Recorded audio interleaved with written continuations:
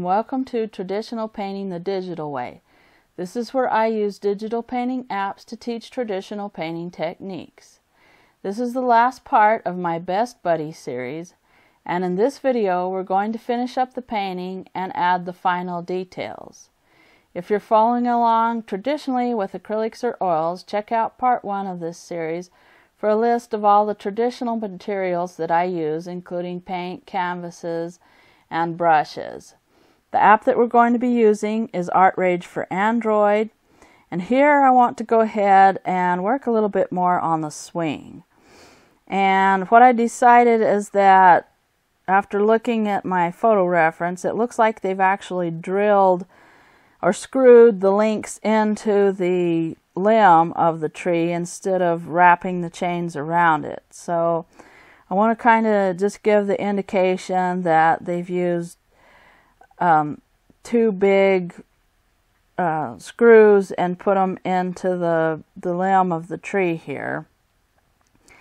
And I also want to work a little bit more on the texture of the tree and I wanted to add a little bit of some lighter bark here and I'm sort of experimenting with the left the cap off um, brush that you can find in the markers category. And I like it because it kind of gives a, a sort of a rough textury look.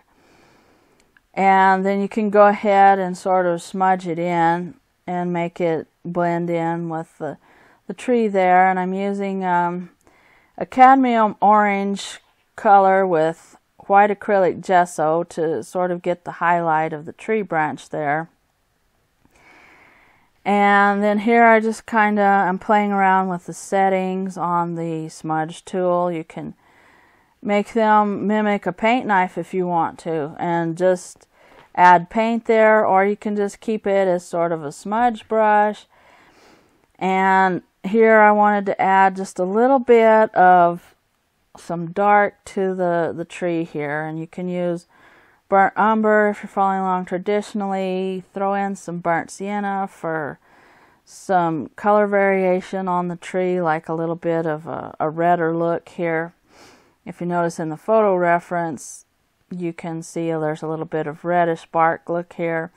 And I'm saving this a lot because occasionally it will crash and I'm getting near the end of this picture and I want to keep things that I've done here instead of having to go back and redo them again. So save frequently because occasionally ArtRage will collapse, crash on you.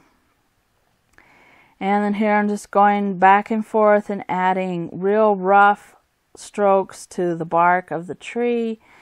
And I'm still using the marker category for that. But if you're following along with your acrylics, you would use your number three round probably and just make real short dry brush strokes here and make them rough and uneven and blend with your finger or a paper towel and just kind of let some of the dark show through and just make it look like it's a, a real rough texture because that's what we're trying to do here is to get a, a impression of the bark of a tree. And so that's kind of you want to make like little holes and maybe not holes kind of and and all the little things that make it look like it's tree bark. And so I'm just kind of working with pockets of dark and light on this tree and smudging them out and going back over them with light color and dark color and that's what you have to do is just go back and forth and and try to get the contrast there and then at the bottom I'm trying to pull the grass up a little bit over the roots because you want sort of a you want it to look like it's sitting down into the grass. And then here I decided that the swing was too high, so I wanted to make it a little bit lower. So I went ahead and erased the seat and added some more links. And you can do this very easily if you have it on separate layers. If you're following along traditionally, you'll just have to mix some of the ground color and just cover it up and paint over it. And so I went ahead and just kind of added the the dark for the seat again and then another highlight color here and just added the links to, to the seat and just kind of giving it the impression of chain links. And like I said before, you don't have to make it great big detailed. You just kind of want to add some circular looking strokes there to, to give the impression of chains because it's kind of in the middle ground. So it's not going to show up in big detail, but we still want it to look like a tree swing. And then here I'm shrinking it because I can tell what the painting looks like then. And this is sort of equivalent to stepping back. When you're doing this traditionally, you want to step back from your picture and see how it looks. And so that's what I'm doing here. And then I'm working a little bit more on the tree trunk and I decided I didn't want the trunk to look quite so wide so I'm covering it up I'm actually erasing it but you can cover it up with some grass if you're following along with traditional materials and I just wanted some indications of the tree roots going down into the grass and you just kind of leave it uneven and patchy right here and that gives it the impression of grass growing up around the bottom of the tree here. And once again, I'm saving it because I'm getting to the point where everything that I do now sort of counts and and sort of counts towards what your final picture is going to look like. And so I don't want to lose this. So I'm saving frequently. And again, I'm working more on the tree bark. And you can also use your dry clumps brush to give you the tree bark texture as well here. And you just have to go look around your picture and see what you want to add. And here I'm looking at the, the grass and I want to add some details to the grass. And so what I'm doing is getting a very small width on my brush and you can use the dry clumps brush and just make a circular motion and make real thin strands of grass. And so I'm using the darker colors against the light and lighter colors against the dark. And you just kind of want to use sort of a, a small circular motion to make these grass strands. And if you're following along with your acrylics or your oils, what you're going to do is make your paint mixture very thin and use your long script brush and just roll it into your paint till you get a real thin point and it's almost like an ink-like consistency with your paint and then you'll just go ahead and use the same kind of stroke a, a circular motion with your hand and it works with your stylus and it works with the brush. So that part is the same as dig in digital painting as it is in traditional painting. You just want sort of a circular stroke to make the grass look like there's more detail to it. And then here I'm just kind of working on her foot a little, adding a little bit more detail to it, darkening the toes a little bit, and just kind of making it look like it's um, sort of in the shadow, but we just wanted to add a little bit more detail to it.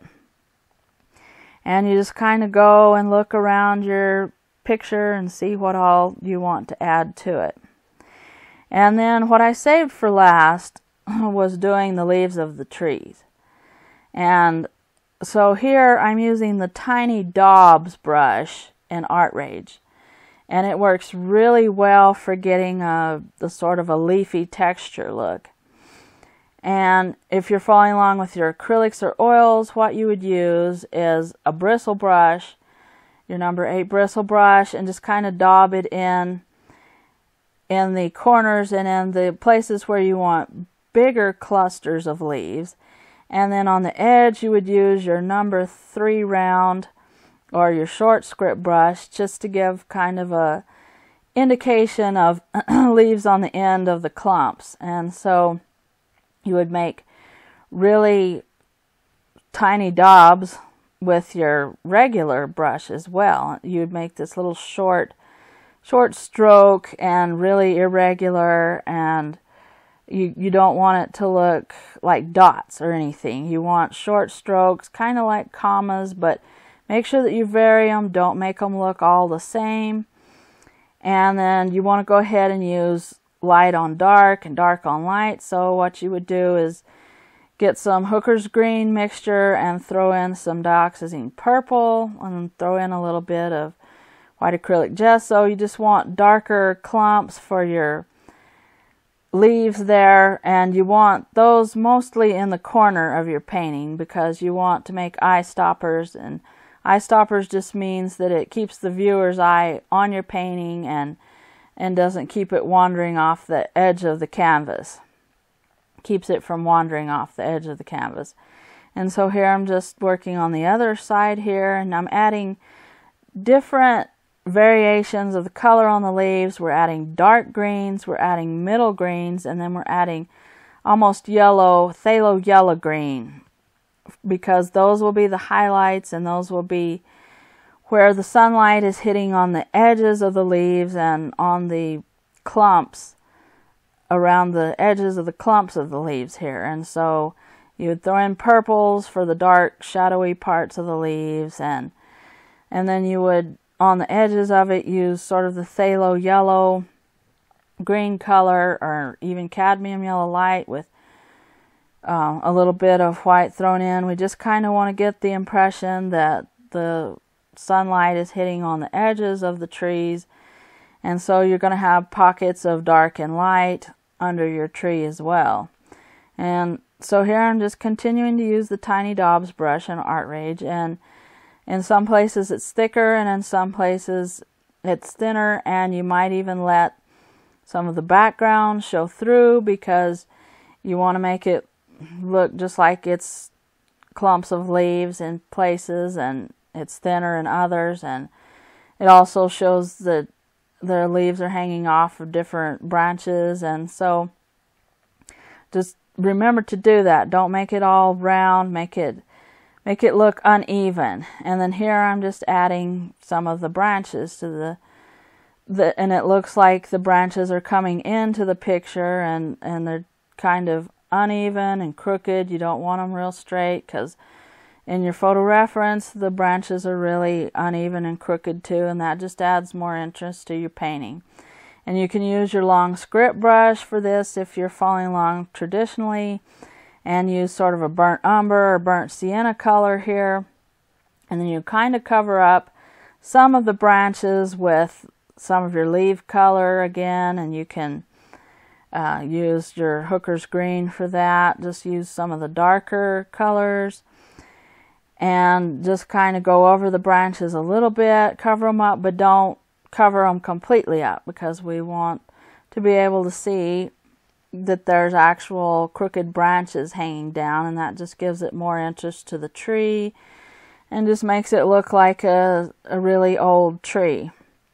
And then here I'm just adding a little bit more of the light color along the edges to make it look like sunlight shining through there and you kind of want to match it up with the patches of the grass on the ground just kind of put uh, lighter leaves above that maybe and that just kind of gives more indication of light shining through the leaves. And then here I'm adding a little bit more of a bright spot in the grass working a little bit on the little girl's hand just kind of refining the look of the hand and adding a little bit of some shadow there like she's uh, clutching it really hard and then I'm going ahead and signing the picture and calling it done.